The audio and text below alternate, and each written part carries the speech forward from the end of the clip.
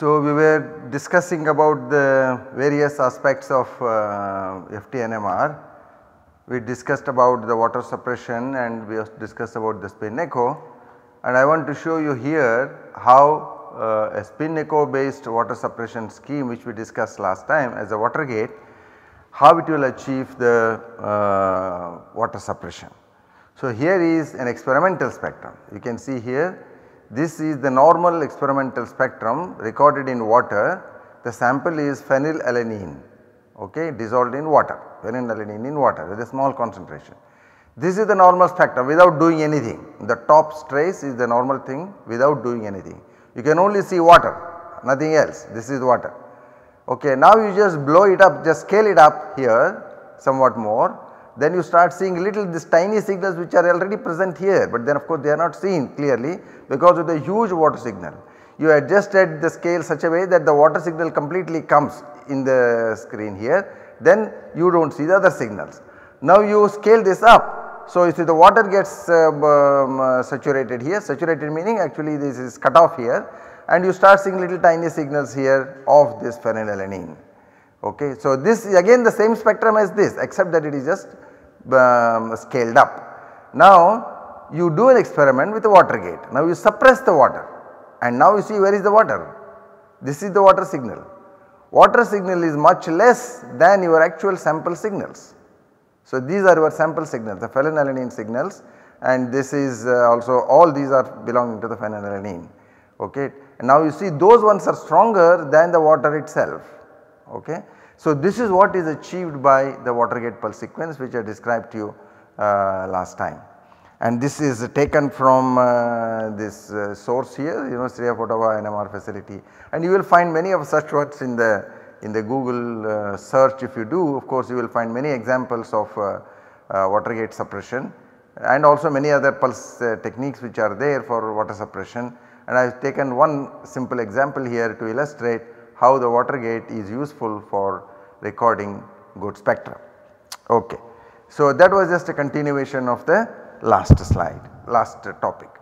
So, now we move on to another topic which is uh, called as dynamic NMR in the sense that the NMR spectra are very sensitive to the dynamic effects in your in your system. If the molecule is undergoing conformational exchange or, or uh, chemical exchange between two different conformations or multiple conformations whatever then the, it will show up in the NMR spectra. And this is illustrated here as a by simulation. I will also show you the experimental spectra. So, here you consider for instance a simple two site exchange a chemical exchange. A proton exchanges between two sites A and B and these ones have uh, different chemical shifts. So, these chemical shifts are here you can see this one is these are the two chemical shift signed in terms of the frequencies here. And if the exchange is happening and now it depends upon what is the exchange rate and what is the population of these individual states. So, what does the population depend upon? It depends on the energy difference between these two. Suppose they are of similar energy they have, may have similar populations but there can be barrier in between and the barrier will result in different exchange rates, different forward rates and forward backward rates and the exchange rate is defined as the sum of these two rates. So, suppose I want to write, suppose I write here the two exchange rates here as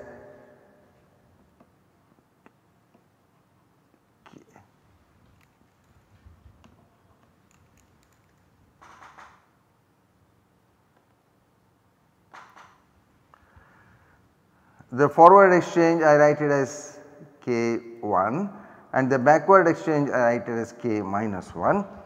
Then I have the exchange rate is defined as K exchange is equal to K1 plus K minus 1. So, one single time constant describes the two uh, the process of exchange and that is defined as a K exchange or this is the same as the K here which is written here this is the same as this K exchange here. Okay. This is the simulation which has been done assuming the following parameters. We assumed here that the populations of the two states are identical Pa is equal to Pb is equal to half that means that is um, uh, the, these are the probabilities the probabilities of meaning what? The populations are the same in both cases. And the tau A and tau B these are the lifetimes, these are the lifetimes of the individual states. Okay. So lifetimes uh, if both are equal. So if I say tau A is equal to tau B is equal to 2 tau. Okay. So that is the uh, lifetime and the lifetime is related to the exchange rate. So the k the k1 is equal to 1 by tau A and k minus 1 is equal to 1 by tau B. And now if you put tau A is equal to tau B is equal to 2 tau then you define one rate which is the k, k exchange or k, k exchange is the same as the k is equal to 1 by tau A plus 1 by tau b. A single time constant is defined this is equal to 1 by tau. Okay, now we can substitute here 1 by uh, yeah. So, the k minus 1 plus k. So, if you substitute tau a is equal to tau b is equal to 2 tau then what you will get? You will get 1 by tau. So, tau is the single time constant which describes the exchange phenomena how the spectra will change as a result of this uh, exchange happening. Of course, how does one change the exchange rate? You can change the exchange rate by changing the conditions like you can change the temperature, you can change the viscosity by adding different things and so on and so forth. And then it also depends upon the relaxation times of the individual states. How much is the relaxation time of the spin in the two sides. So here are the two relaxation times here, but those become individually uh, assumed here that okay they are infinitely long that in the sense that the 1 by T2a is equal to 1 by T2b is equal to 0. That means they are extremely slowly relaxing. Therefore, we do not include here the effect of this relaxation, but we include here the changes that are happening as a result of the uh, exchange process only. So, that is why to show the effect of the exchange we are doing the simulations here. So, you see when the exchange is very very slow k is equal to 10 hertz you see two clear lines. See you see two clear lines here. And you and of course the intensities are also high. And increase it to 100 hertz the, the lines have broadened and therefore the intensity has come down. Okay? The height has come down. Increase it further you give it even less then you reach a state when it is like almost you are not able to distinguish between these two and you start getting a broad line very broad line this is known as coalescence coalescence.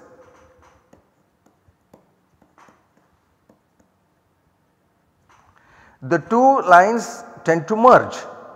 The two lines tend to merge when that happens the tau is equal to tau is equal to or, or tau into omega A minus omega B is equal to 1.414. When this condition is satisfied then you will see coalescence you will start getting a single line. Now what happens after that? If the exchange rate increases further then the lines start narrowing, narrowing further okay. Now we start becoming sharper, sharper and sharper okay. And where it will appear? This line will appear at the average of the weighted average of the two individual chemical shifts. Okay, the final position, the final position what you will observe in this situation will be omega observe will be PA or uh, PA omega A plus PB omega B where PA and PB are the populations. Okay. So, omega A and omega B are the individual frequencies and this uh, uh, average will appear at the weighted average position when the exchange rate is far far larger than the uh, uh separation between those two. And what is the meaning of fast? This is called as fast exchange.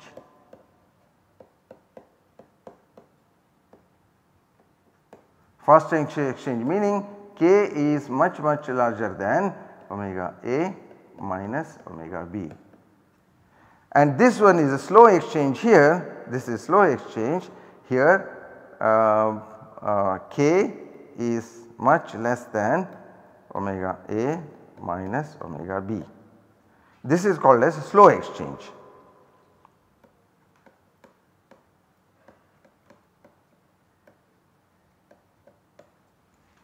Okay. So therefore you can see by monitoring these uh, changes in the spectra as a function of some temperature or something like that or whatever you can actually try and measure the exchange you can study the dynamics of molecules inside your uh, in, in the system. And by, uh, by simple examination at this point you can actually find out what should be the uh, exchange rate. Of course you should know the omega A and omega B, omega omega B these will be present only at when there is the slow exchange.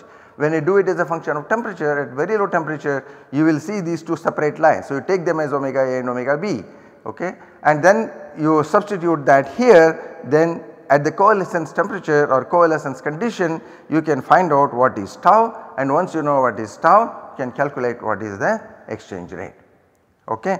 So let me show you uh, an experimental spectrum of this. Here is a molecule.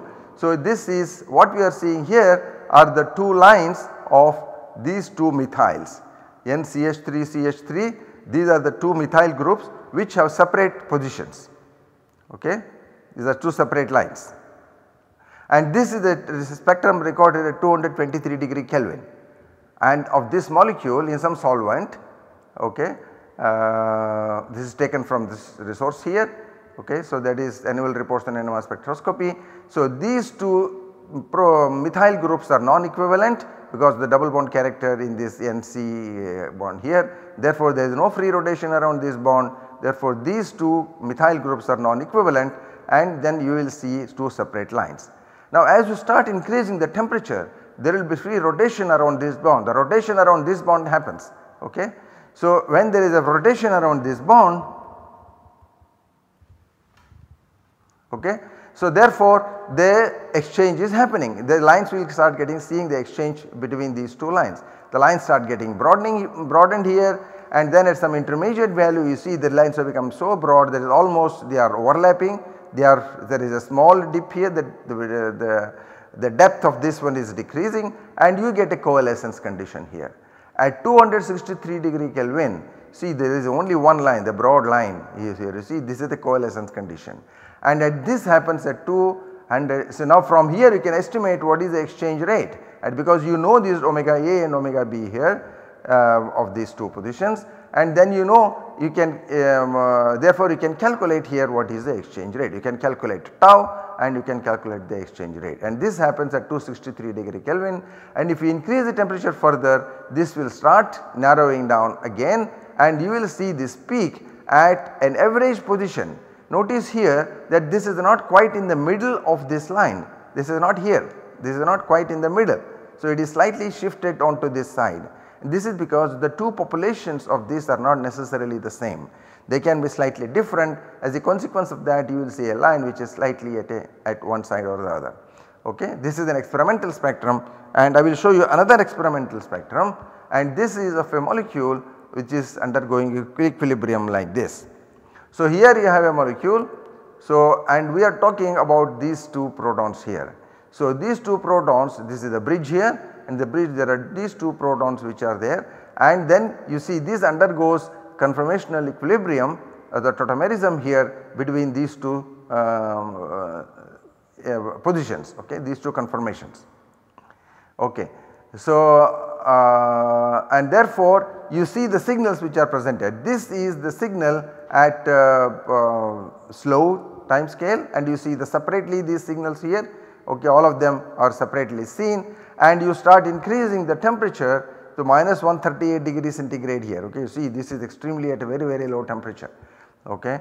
And uh, as you start increasing the temperature exchange rate starts increasing. And you see here at this point at this point this has become broad. And this is sort of vanished here. And then actually it started um, appearing again. The broadening has happened already here okay? This is already broadened here the coalescence has already happened here and this happens differently for different groups. You see it is not the same for this group and for this group. It is different for the different groups. Therefore, the, the exchange positions in the groups itself there can be different rates in a given molecule as uh, um, uh, because the barriers can be different for the different rotations and therefore for this group you have a coalescence temperature at one point for this group there is a coalescence temperature at another point okay. So therefore you can measure these exchange rates for the two things at different So at this point here this is the fin final thing at k is equal to infinity these extremely fast motions then you start seeing only these two uh, lines here right. This is this happens at minus 65 degrees centigrade and you measure the exchange rate as 58 80 seconds inverse ok.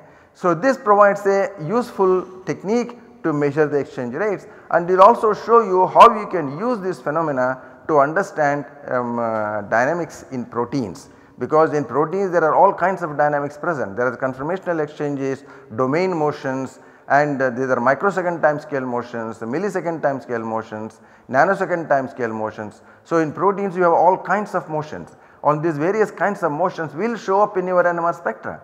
How to extract that? That is an important point. There are other methods. This is the very simple method of obtaining the information from looking at the one dimensional spectra.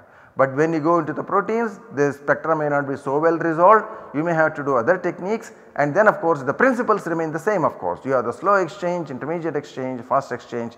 So the appearance in the spectra will change and you can use those data to estimate the conformational dynamics in, in proteins. Okay. Now there can be other effect of the uh, exchange phenomena. So there is let us say there are two conformations uh, of a particular molecule. Suppose I have a molecule which is in conformation A and it exchanges with a, another conformation B and here I have one coupling constant there is a particular proton pair let us say I have a coupling constant here and this is a, another coupling constant here J2 and I represent here the two spectra like this. So I will have a line splitting here and I will have a line splitting here and this is J1 and this is J2 okay separation between these two and that is what is shown in this here. So for the A site so I will have two lines here I will have two lines because of the splitting the separation between them is the coupling constant. For the B site again I will have two lines and the separation between them is the coupling constant okay. So now if there is a exchange here the coupling constants also will get averaged out. The coupling constants will get averaged out and then you will get a J average, J average is equal to P A J1 plus P B J2 okay. And that shows up that is what you will see in the bottom spectrum here. This is the bottom spectrum see where does it appear? You see it is neither here nor it is in between if you draw a vertical line from there to here down so, this line is lying in between this position and this position. It is somewhere in the average position between these two lines and similarly this is also present at the average position between these two lines. Okay. So, therefore, what you will measure is this coupling constant. You will measure this coupling constant because of the conformational averaging. So, when this happens if you try to interpret this coupling constant in terms of the structure as one, one commonly does because the coupling constants are related to dihedral angles in molecules. So, you have suppose I have a situation like this a 3 bond coupling. So, there is a J here then I measure here the J then I try to interpret the torsion angle this as a consequence use the Karplus relationship and things like that. Now you should be careful that if there is a conformational averaging what you will directly interpret may be wrong because the average coupling constant will give you a certain value here fine but that may not be the actual structural value. It be the it is the result of an averaging between these two positions therefore you must look at the stable conditions change the temperature change the conditions and find out the individual coupling constants there and then you will be able to figure out from this what are the populations of the individual individual uh, conformations. This is an important application also in structural biology. This typically happens in proteins. There are rapid rotations in the phi psi torsion angles in proteins. This we will see as we go along. Okay, that is the I am preparing the ground for understanding the phenomena in proteins and nucleic acids which will be our focus in the area of structural biology. Okay. So now so this is the so far as the dynamism in the in the spectra and now we move on to another important concept in, um, in NMR and that is the so called polarization transfer or NOE or polarization transfer is a very general term.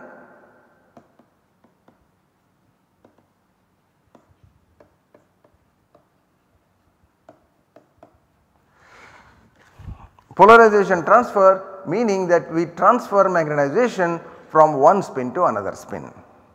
That means we transfer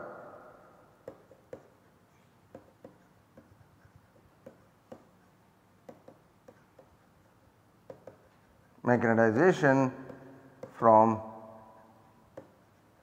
one spin to another.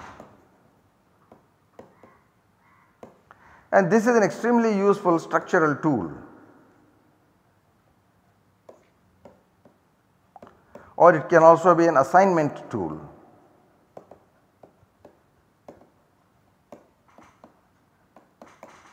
Among these there is one important thing which is called as NOE. This is nuclear Overhauser effect.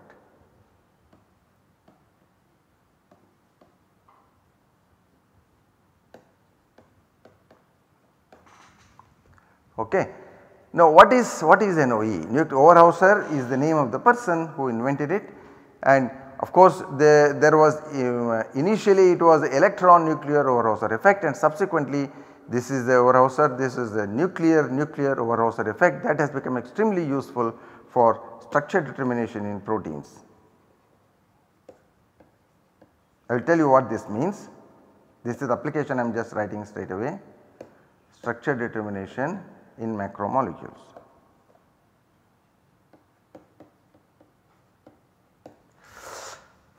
Okay. So, what is NOE? Let us say I have a spectrum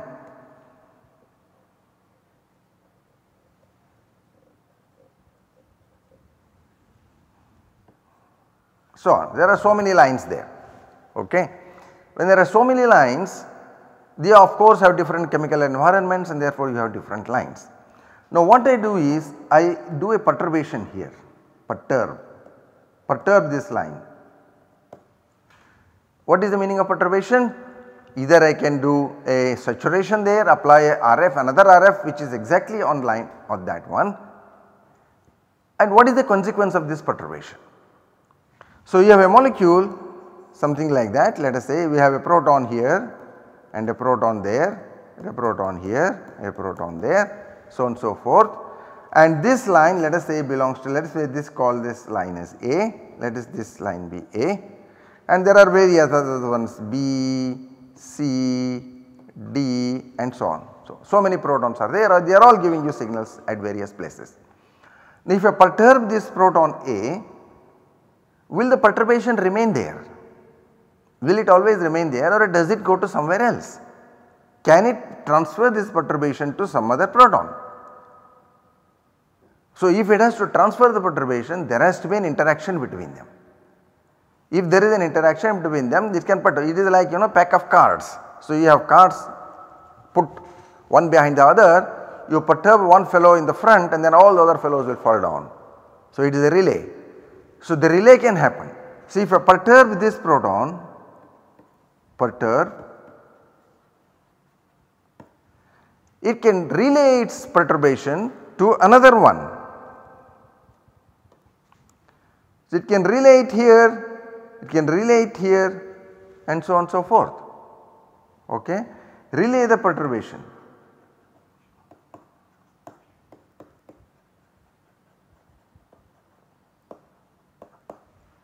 And for this what is required? There has to be coupling. For this there is coupling and that is the dipolar coupling. And these are magnetic dipoles all the protons are magnetic dipoles therefore there is a magnetic dipolar coupling. So if I perturb one of those so when I what is what it means when I perturb as I said suppose I have the energy levels for the spin A and these are the populations here okay. So let us say I have this n Uh, N1 here and N2 there. When I perturb it meaning I change these populations. So I have it here like this okay there was something like this. So when I perturb it here then I may make it both of them equal I can make them equal or this is one perturbation or I can also do I can make it this one here and this one down there this is the number 1 number 2 so both kinds of perturbations are possible So, essentially what we are doing is both are contributing to changes in the populations. Changes in the populations of the states. Okay. So, that is like a relaxation phenomena after you change the populations the system will have to recover okay and the system will have to recover how does it recover it has to give away its perturbation to somebody else okay. So, the perturbed populations have to recover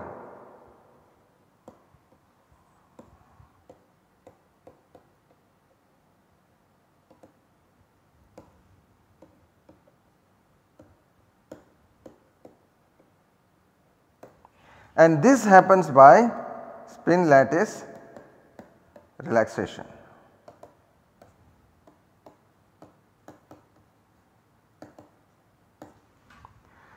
So, because of the spin lattice relaxation there is a relay of the perturbation from one spin to another spin and then it will show up in the intensity of this of this proton. Okay. So, let us say as a result of this I get a new spectrum when I so what I do is I do 2 spectra. So, I do 2 spectra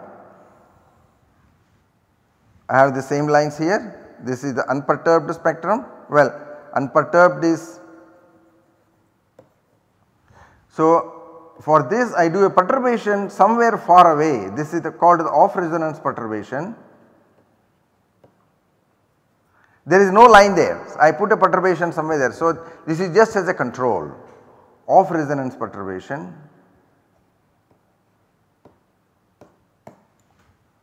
So, that I get a spectrum like this ok. So, this happens as a control. Just to see that the RF irradiation which I am doing and this is by RF irradiation.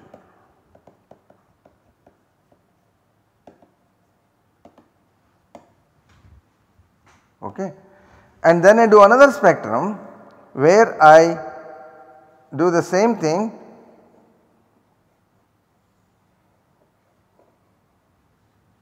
and I have perturbed this, this line, this is perturbed.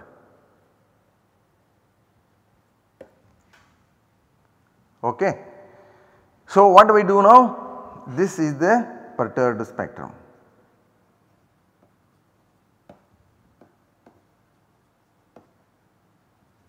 Okay. So, this is experiment let us say I call this as experiment number 1, this is experiment number 2. Then what I do is I take 1 minus 2 different spectrum I take a difference. So what do I get? When I perturb this I will transfer the perturbation to those protons which are dipolarly coupled. Those which are not coupled they will not be perturbed at all. There will be no difference in that. So then what I will when I do this I will get a spectrum which may be like this. There is a line here. There is a line there. And all others have gone to 0 and here I will get something which is negative. Because you have perturbed it this is made it 0 here or saturated made it 0 then I take this minus this or this minus this so I get a negative 1 here I have written 1 minus 2 but it could be 2 minus 1 also it does not matter. So you have here a some change happening in this particular line some change happening in this particular line because these are the ones which are dipolarly coupled okay, to the perturbed line. So, these are the enhancements or there can be decrease also and depending upon that we will have some perturbations in these areas. Okay. So, these are the so these are the uh, relayed uh, perturbations.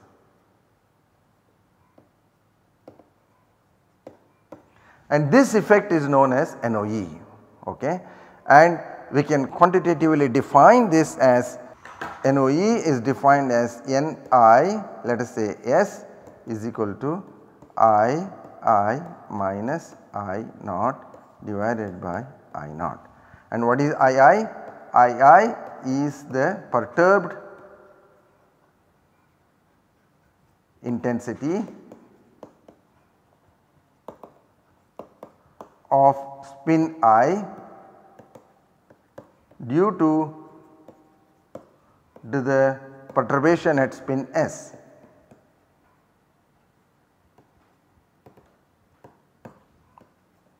at spin S and I naught is the equilibrium intensity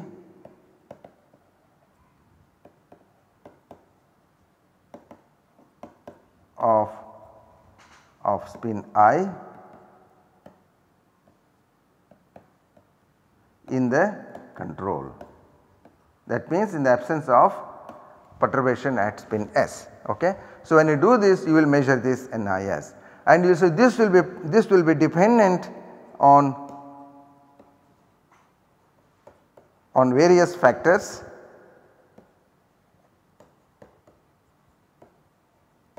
various factors the important thing being the gammas the gammas of the individual residues and the relaxation times the T1s relaxation times and um, uh, uh, the dipolar coupling.